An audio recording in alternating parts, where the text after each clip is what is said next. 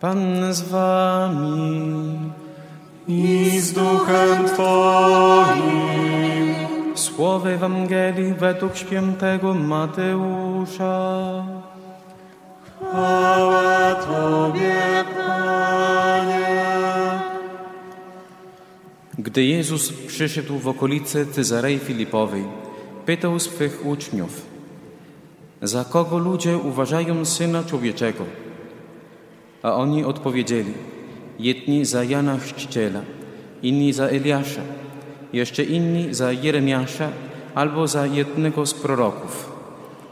Jezus zapytał ich, a wy za kogo mnie uważacie? Odpowiedział Szymon Piotr, Ty jesteś Mesjasz, Syn Boga żywego. Na to Jezus mu rzekł, Błogosławiony jesteś, Szymonie, synu Jony, albowiem nie objawiło Ci tego ciało i krew, lecz Ojciec mój, który jest w niebie. Otóż ja Tobie powiadam, Ty jesteś Piotr, czyli opoka, i na tej opoce zbuduję Kościół mój, a bramy piekielne go nie przemogą. I Tobie dam król, klucze Królestwa Niebieskiego. Cokolwiek zwiążesz na ziemi, będzie związane w niebie, a co rozwiążesz na ziemi, będzie rozwiązane w niebie. Wtedy surowo zabronił uczniom, aby nikomu nie mówili, że On jest Mesjaszem. Oto słowo Pańskie. Chwała Tobie, Chryste.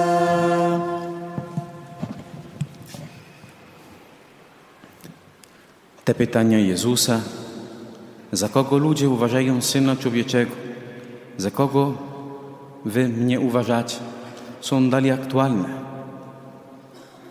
Ważne też jest miejsce i czas, kiedy i gdzie Jezus zadawał te pytania swoim uczniom. Byli w okolicy Cezarei Filipowej. Jesteśmy na północy, u źródeł Jordanu. Tam jest takie, taka miejscowość, dzisiaj zwana Banias, bardzo piękna, urodzajna. Tam były przez wieki różne świątynie, począwszy od Kananejczyków, tam był kult Baala. Słyszeliśmy o tych bóstwach.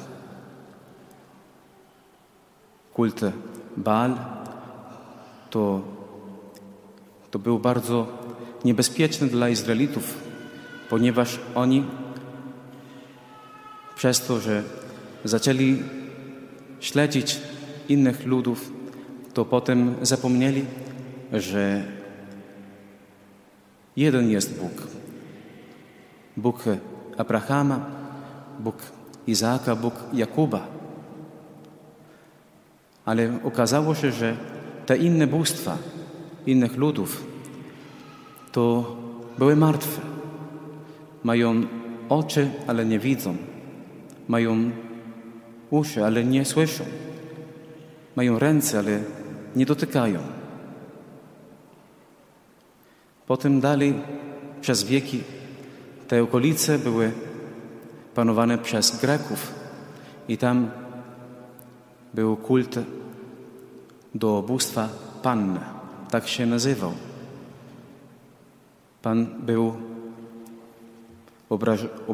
obrazowany jak taki twór pół człowieka, pół kozioł. To był symbolem siły kosmosu, przyrody, najniższych instynktów, najciemniejszych. I ludzie oddawali kult temu bóstwu, które według mitologii krążył po lasach, szukając dziewicy, żeby je zgwałcić. To takie kulty tam były. I potem przez Rzymian tam Herod Wielki zbudował na cześć cesarza takie sanktuarium, ponieważ na wschodzie Imperium Rzymskiego uważano, że cesarz był jak Bóg. Bóg z Boga. Takie były hymny. I w takim miejscu uda się Jezus ze swoimi uczniami. Teraz pytanie, kiedy to było? Jest taka interpretacja, cała, całkiem prawdopodobna, że to było w dniu Jom Kippur, w dniu przebłagania, kiedy w Jerozolimie to był ten dzień jedyny w roku, kiedy najwyższy kapłan mógł wejść do świętych świętych. To jest najbardziej ważne miejsce świątyni, gdzie mógł wypowiadać słowo Boga tylko raz i tylko On. I wtedy następ, następowało odpuszczenie grzechów ludu Izraela. Wtedy arcykapłan miał na imię Kajfasz. W takim miejscu, tam w Cezarei Filipowej, daleko od Jerozolimy, tam gdzie był bardzo ważne, bardzo ważne święto, to Jezus zaprowadza swoich uczniów i zadaje im takie pytanie. Za kogo ludzie uważają Syna Człowieczego? I odpowiedzi są bardzo zróżnicowane. Mogłyby być też aktualne dzisiaj. Ciekawe, że zostaną wymienioni sami prorocy. Jedni za Jana Chrzciciela, inni za Eliasza, jeszcze inni za Jeremiasza albo za jednego z proroków. Gdybyśmy zapytali dzisiaj może innych ludzi z innych religii, nawet e, z islamu, to owszem, Jezus Chrystus jest uważany za proroka. Może jest uważany za wielkiego mędrca.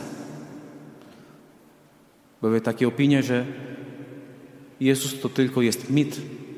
To już, już jest przeciw prawdzie historycznej, ponieważ Jezus z Nazaretu naprawdę istniał. Naprawdę żył w Palestynie. Taki Jezus, który poniósł śmierć na krzyżu. To, nie, to jest prawda historyczna. Ale kim jest Jezus Chrystus dla Ciebie dzisiaj, dla mnie? Czasami słyszę w konfesjonale odpowiedzi, czasami tam zadaję ja też takie pytanie. Kim jest dla Ciebie Jezus Chrystus?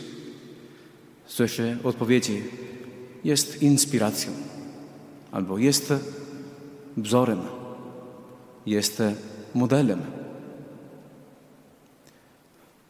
O, jesteśmy daleko od chrześcijaństwa, bo Jezus Chrystus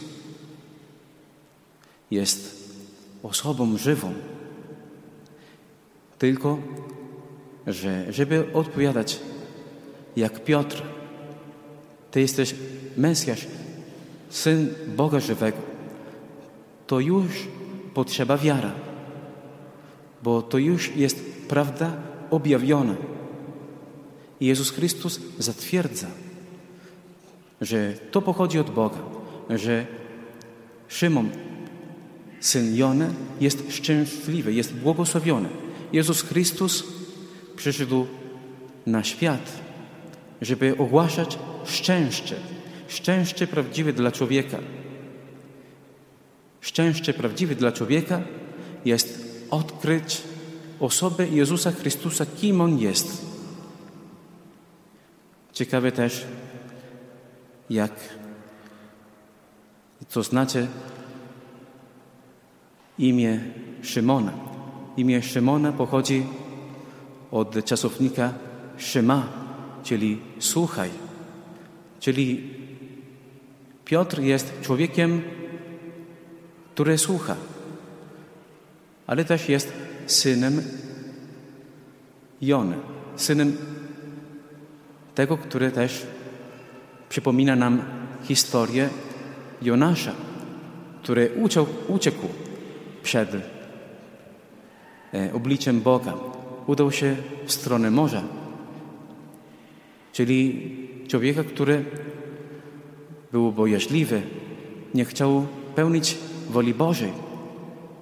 Takie cechy odnajdujemy też w Piotrze. Ale Jezus Chrystus zmienia mu imię. Ty jesteś Piotr, czyli opoka, skała. I na tej opoce zbuduję mój kościół. Też tutaj pojawia się e, słowo kościół, eklezja. To znaczy z, ludzi zwołanych, bo my nie jesteśmy tutaj, bo wybraliśmy Boga, bo On sam nas wybrał, On nas zwołał tutaj, nie jest to przypadek. To jesteśmy Jego Kościołem, jesteśmy ugruntowani na wierze świętego Piotra, pierwszego papieża. My jesteśmy budowlą, ale nie tylko taką z kamieni tutaj, która się wznosi wysoko. My jesteśmy ciałem Chrystusa żywym, my chrześcijanie.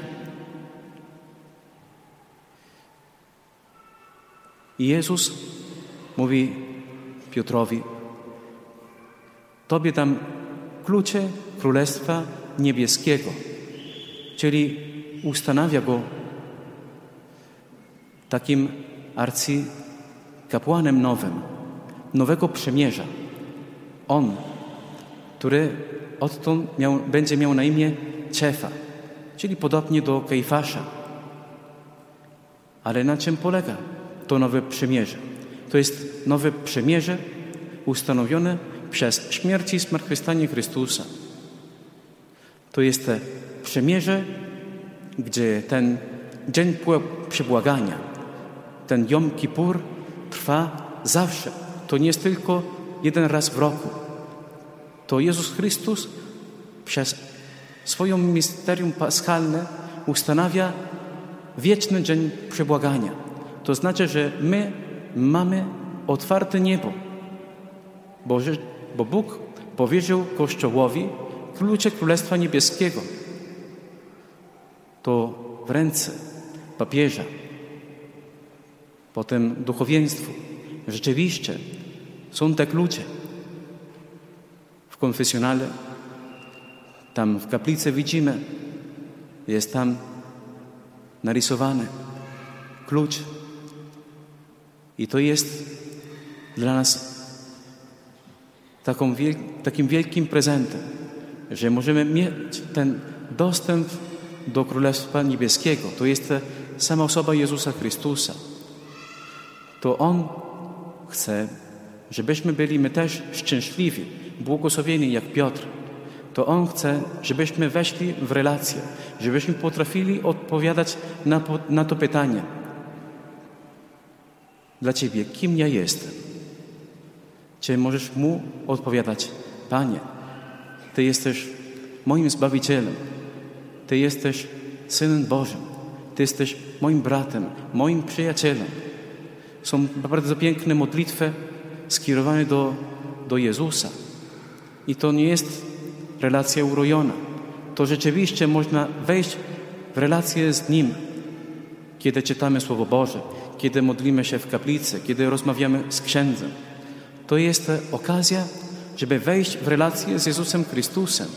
On, który nas kocha. On, który oddał życie za nas. I jeszcze raz otwiera przed nami tę rzeczywistość nieba. To zaprasza nas do tej uczty, do tej Eucharystii.